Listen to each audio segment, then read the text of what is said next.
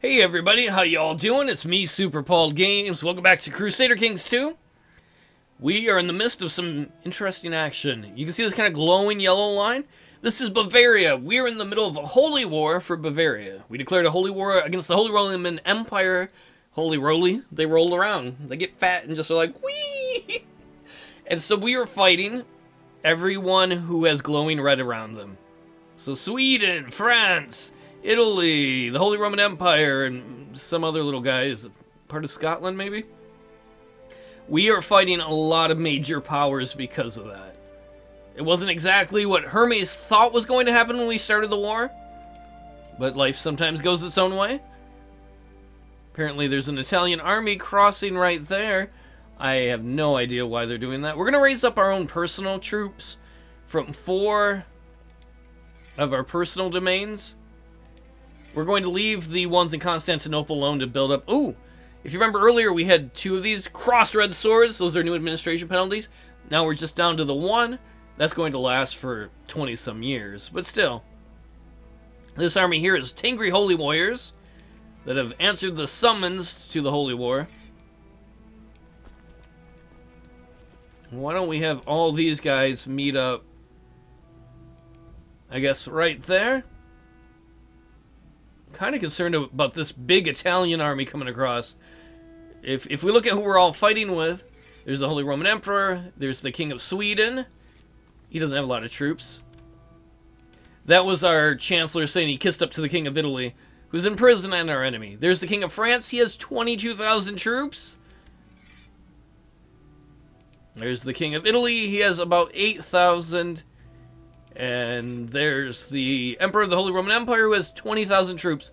So we are terribly outnumbered, actually.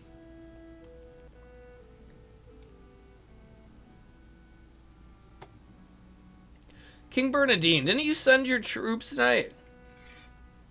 What happened to your troops? His troops disappeared, and now there's like 900 I can get. Oh well, we're gonna bring them over anyway.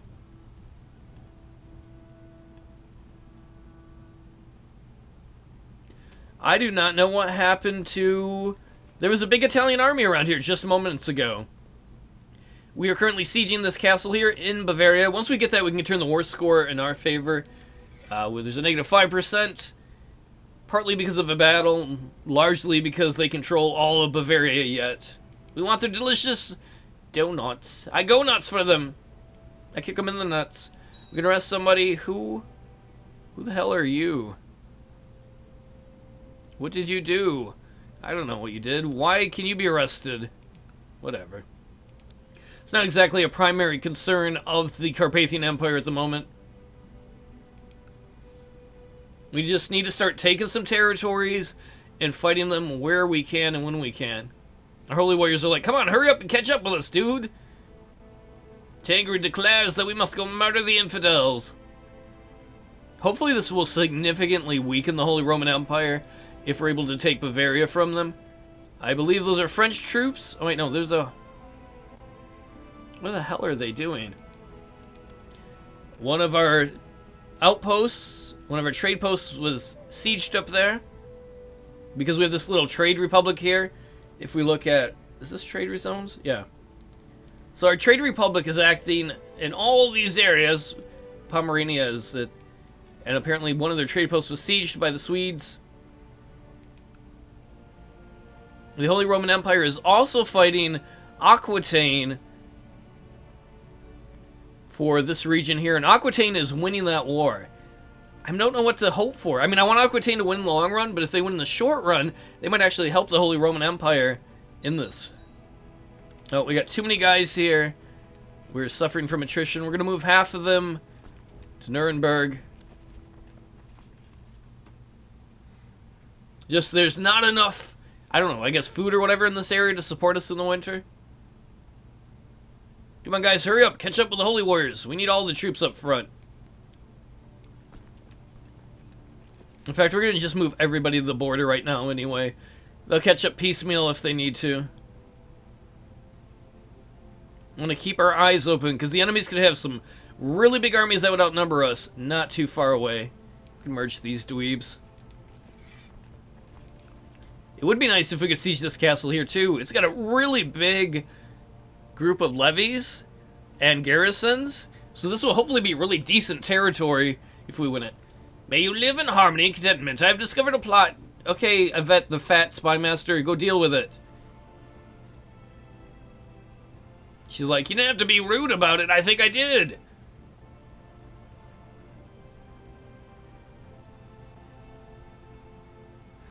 Auto save. We're at negative 8% war score because we don't currently have any enemy territory. I am a little worried about that. I'm more worried about a 20,000 man army showing up when we're not looking. So one thing about these real-time strategy games, whoa, like right there. Are They're going to be there on the 18th. We're going to be out on the 15th.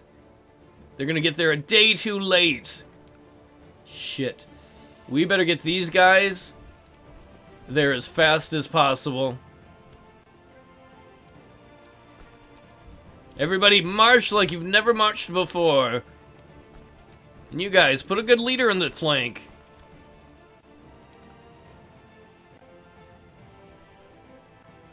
Oh, we can see almost 30,000 troops coming our way. Come on, we need to take this. We're almost there.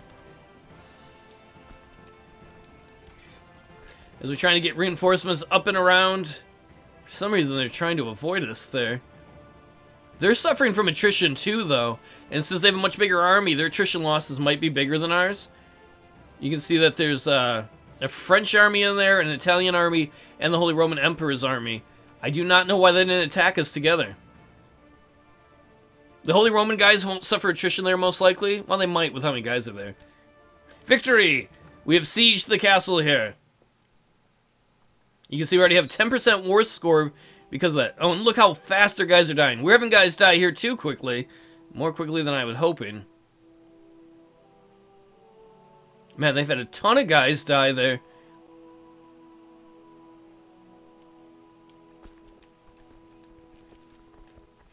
Actually, all you guys hold up right here. Man, this attrition rate is not good.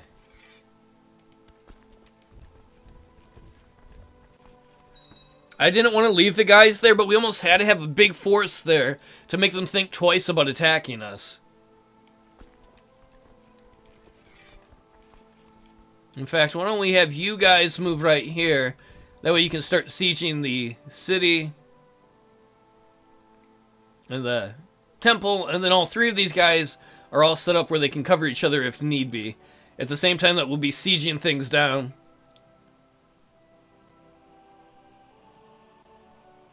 I am really surprised that Big Army didn't come after us, unless they're going to go after Aquitaine. But I doubt that, because most of those guys aren't fighting Aquitaine. Uh-oh. There we go. They're going to be here on the 27th of March. See if we can march our guys in there to counter them. We would have the advantage of there's a hill here and they're crossing a major river. Better get everybody headed that way. Our reinforcements would be in there before they got there. So we would be able to have about close number. Dangerous faction? You assholes really are going for independence now in the middle of this war? Never should have let anyone out of prison. Those are probably kids of some of the people who were rebels back in the day. You can already see attrition has really hurt their numbers there. And the battle is about to start. Right now, Emperor Hermes II up here is waiting for a battle report. He's like, battle report. And this guy comes in and he's like, hey, um, oh, never mind. This is important. This is from our chief shaman. He has successfully converted the people of Constantinople to Tangri. So before we deal with the battle, which is important, that means well, I can't believe he did that so quickly. The former heart, homeland, capital of the Byzantine Empire is now Tangri. So Chief Shaman proselytized there, convinced Thrake to become Tangri as well. That is excellent news. And now to this battle. We are slightly outnumbered. We have better leaders. We do have reinforcements showing up that will give us a slight lead, but they have a. And we're also on hills. That's good for us. And they're crossing a major river, which is really bad for them. So hopefully we can have a giant upset here. If we could kill 20,000 troops, that would be really good for our war effort. Unfortunately, our guys are not fighting very well. They do have more archers than us. That's part of it. The charge phase should be good. All right, Brandenburg up there fell to the enemy. Come on, we got our reinforcements in. We now have close to the same amount of archers, not quite. We gotta get out of these archery type phases. I have been spending more time with my wife Sesnia lately. And though we did not marry for love, love is growing between us. He's like, oh, my old woman. She's like, don't call me old. I broke my hip when I fell down. Come on, let's break their center. This should be the strong point of it. Us doing charges. We broke their left flank. Their king, the king of Germany was in there. Oh man, this turned out to be a huge victory for us. Victory! 31% war score. Move an army there. Move an army back there. I was hoping we were going to get a little more war score, but that was a pretty big battle that went in our favor. Made up for the crushing loss we had like in the very beginning of the game when our vassals army fought like crap. All right, while we're at it, who are you? King Jerome the ruler? Let's kiss up to you, because he's part of the independence faction. Let's give you a vet... Oh. We're going to give him some titles. We'll designate him our regent. He has no claims on our throne, so that's alright. And then who else do we want to go for? Who else kind of likes us? We go to the High Chief Alexandra. We will order the honorary title of... Oh, we have nothing good to award her. Maybe it's because she's a woman? So award the High Chief of Kiev the title Master of the Blade. I don't know if that'll be enough to convince these guys to get out of the Independence faction, but we can hope.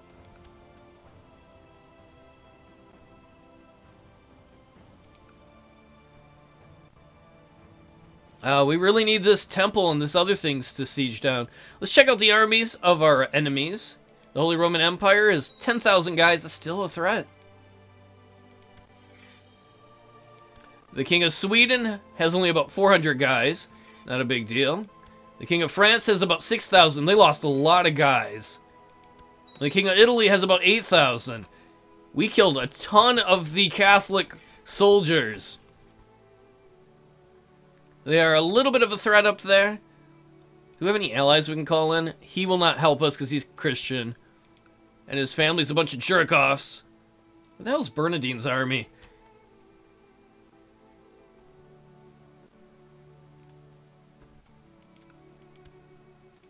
Well, if you added up all the troops of the enemy, they might still outnumber us, but we're doing pretty solid. In fact, we might be able to slightly bump up the speed. That was a pretty major win we had right there. The biggest threat we have, well, is the country we're fighting. Oh, and sweet! By giving up those titles, the King of Lithuania, who's up here. Oh wait, no, he died. That's why he left the faction. The King of Lithuania died. Excellent. Or was I looking at a different king? When did you die? Alright, was it Bernadine that I was kissing up to? No, I don't know. Oh, no, I think it was the guy who's the king of Georgia. I forgot we had a third king. He was like, you know what? This guy is a pretty good emperor. That's what I've been saying. Oh, no, we're related. Oh, no. You have any incest babies? I mean, they're all incest babies. I think the inbred thing looks like purple. No. Our emperor's got a sweet scar. See on his face? From when a bear attacked him? He could be in the new Fox show when bears attack. King Borl the Usurper has usurped the title of Kingdom of Lithuania from High Chief Lubitger, whatever. Fate smiles upon Emperor Hermes, his concubine Silva, is pregnant. She's pretty new. She's got some nice stats. Dangerous faction? Oh, again. Can't y'all settle down?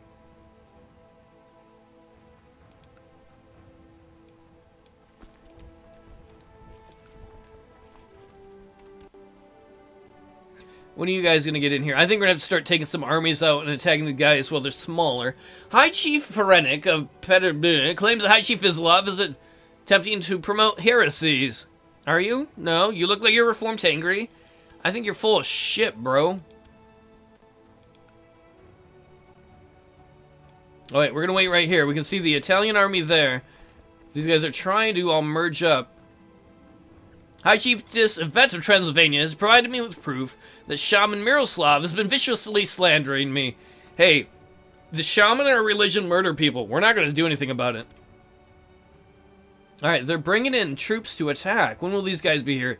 The 18th. They'll be in on the 11th. When that group gets in on the 11th, I think we're going to bring these guys in as reinforcements. And they did. Let's bring in our reinforcements.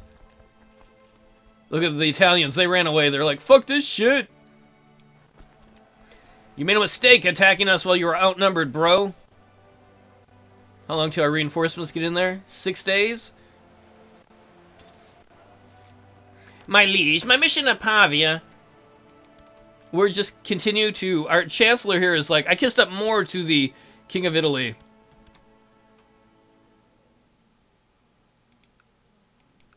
How's this siege going? You know what? Fuck this siege. We're gonna bring guys in here. We're gonna crush the enemy.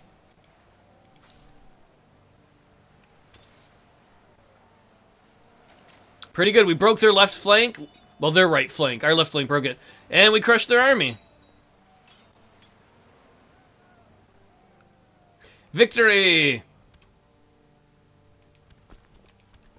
Alright, one of our armies, we'll take the 5,000 man army, I think. They will chase those guys who are retreating. We are at 48% war score now. Why don't y'all just surrender, accept the superiority of the Carpathian Empire and the Tengri religion? And our siege was successful for the city here. Now we just gotta take, or I'm sorry, the temple. Now we just have to take the city.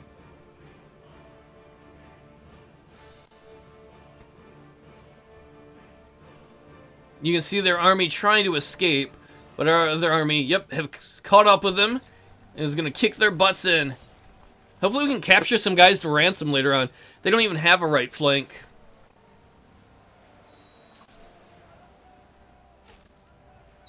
This has ended up being a very good defensive position, especially when they're dumb enough to attack across the Danube.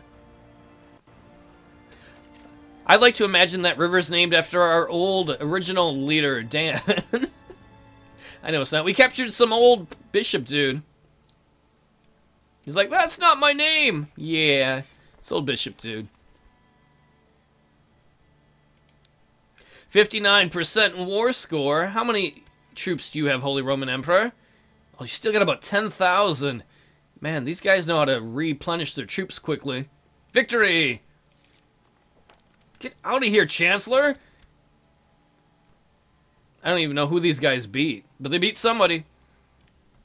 I really should find someone else for the Chancellor to kiss up to, but interesting enough, the Byzantine Empire has finally ended their civil war.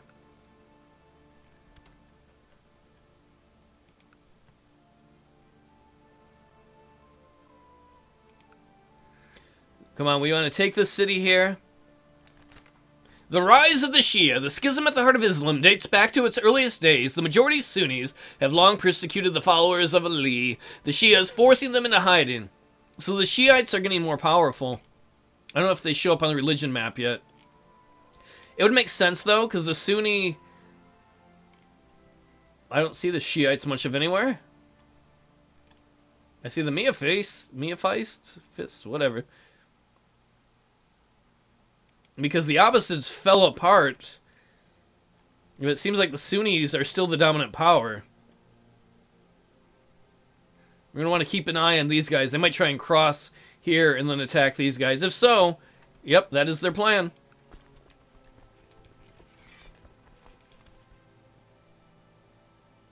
They'll be there on the 29th. We will wait and then we'll send in reinforcements to help them. While still be, being able to siege the city here.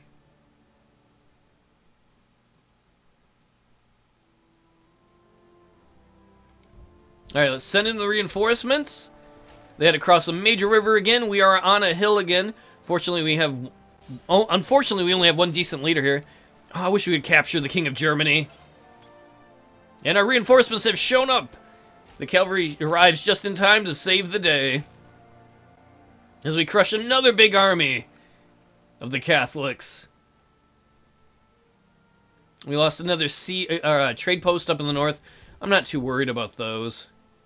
Oh, apparently Sweden's in the middle of a civil war. I bet you part of the reason is because you'll probably see it in the Holy Roman Empire, maybe Italy and France soon, because they're sending. Oh, you can see it already in part of France. So many of their people are coming to die in our war that it is weakening their kings, and the people who are rivals to the kings are going to be able to start civil wars in those areas. Well, everybody, that's going to be the end of this episode. We still got a ways to go to win this war. Oh, somebody left the war. The King of Italy left the war. Excellent. He is no longer fighting us. Now we're just fighting the King of France, who still has a lot of troops. The King of Sweden, who has little troops and has a giant civil war going on. And the Emperor of the Holy Roman Empire, whose army is pretty beat up. Out of curiosity, let's go all the way up to the King of Sweden. Whoa, he's fighting against uh, a revolt? Somebody else who's trying to take the throne? Somebody else is trying to take the throne, I guess? And somebody's trying to lower crown authority. See, Sweden? You shouldn't have got involved in our war. What has the Holy Roman Empire ever done for you? Well, I hope to see y'all next time. Maybe we'll win the war. Hopefully things don't turn around on us. The truth is the Byzantine Empire has got a fair amount of power now. It wouldn't be a bad time for them to strike, but hopefully they won't. Take it easy.